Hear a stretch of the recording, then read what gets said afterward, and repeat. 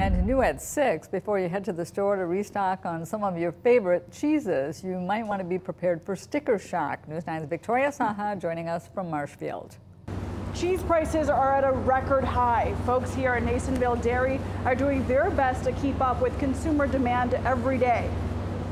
Munching on some cheese always sounds like a good idea, but prices are taking a sharp turn here in America's Dairyland. The biggest thing is how do you adjust to anything this quickly? You know, both directions, down or up. How do you adjust?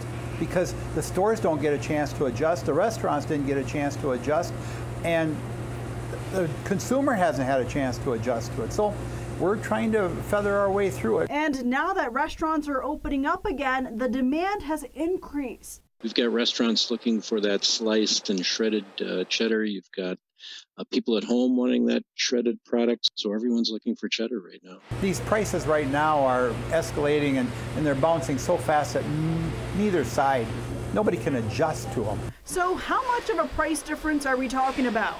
Back in April, a pound of cheese like this was a dollar, the lowest it's been since 1977.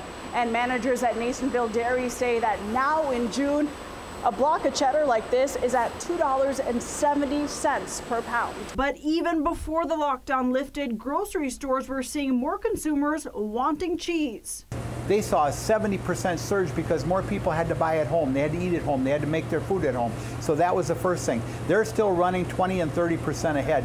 Restaurants, the white tablecloth especially, but all restaurants are down about 80% yet. Here at Nasonville Dairy, they're shipping out 165,000 pounds of cheese a day.